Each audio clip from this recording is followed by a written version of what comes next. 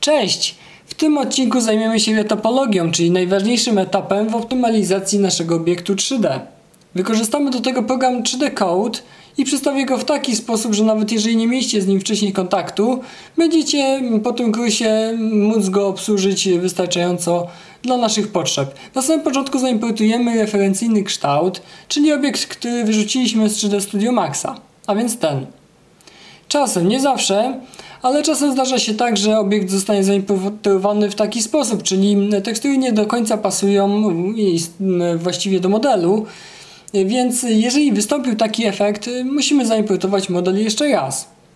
W tym przypadku jednak importujemy go nie jako reference mesh, ale jako per pixel painting, dzięki czemu tekstury zostaną na pewno poprawnie wczytane. Otwieramy ten sam plik i patrzymy, czy faktycznie 4K, y, książę MED i książę MED 1 na dole jest zaznaczony. Jeżeli damy OK, model został poprawnie wczytany. I wygląda tak. Czym jest retopologia? Retopologia, przechodzimy do karty retopo, polega na stworzeniu znacznie prostszej siatki na podstawie znacznie bardziej złożonej siatki, po to, żeby w grze działało to znacznie płynniej i lepiej. Często wykorzystuje się nie tylko do fotogrammetrii, ale też w innych przypadkach, jeżeli na przykład w animacji mamy bardzo złożoną postać, a w grze chcemy tą postać uprościć, tak jak jest na przykład w intro do Diablo 2 i w samej grze. Zacznijmy e, jednak od otwarcia projektu. Jeżeli go wcześniej zapisaliśmy, możemy znowu dać new i wybrać go na liście na dole. Jest e, wyszczególniony. Ok. Jak się poruszać w 3D Code? Alt i lewy przycisk pozwala obracać obiektem. Alt i prawy przycisk pozwala płynnie oddalać i przybliżać, podobnie jak y, kręcenie rolką na myszce. Środkowy przycisk i Alt pozwala przesuwać, czyli robić tak zwanego pana. Przejdźmy do Retopo, bo najczęściej po otwarciu mamy dostęp do karty Paint, a nas interesuje Retopo. Pokażę to na kulce, chociaż kulkę już mamy zrobioną, ale na kulce łatwiej można to przestawić. Można tworzyć nową siatkę poprzez tworzenie punktów, Punkty nie będą widoczne, jeżeli je wyeksportujemy. Po prostu one są tylko w 3D i tylko tu są potrzebne. I punkty zawsze znajdują się na powierzchni obiektu.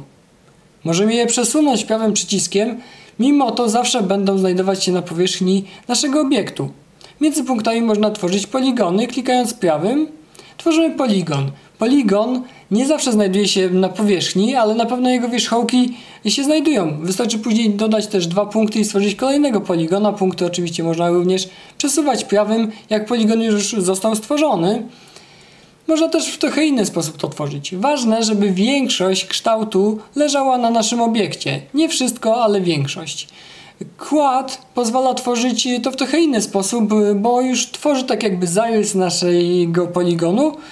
Wybieramy tylko krawędź i tworzymy dwa kolejne punkty i zostaje stworzony e, poligon sam. Poligony można też mm, dzielić poprzez add split. Jednakże nie można pierwszej i ostatniej krawędzi zaznaczyć, tylko trzeba wszystkie krawędzie po kolei.